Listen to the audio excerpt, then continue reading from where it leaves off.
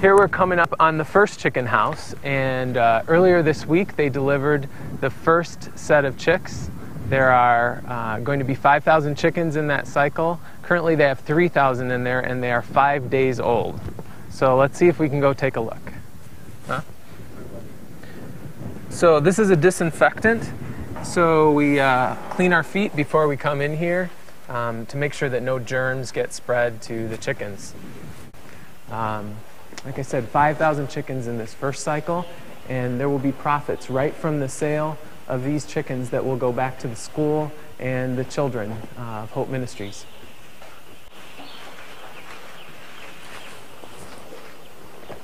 Wow. Many of them are eating and drinking this morning. Uh, the little red trays, that's where the food is, and then the tall little cone shaped things, those are the drinkers. As you can see, there's a thermometer in the room.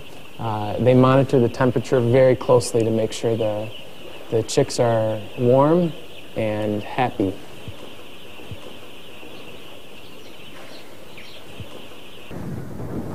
So this farm will allow Hope Ministries to educate and empower thousands of children for years to come.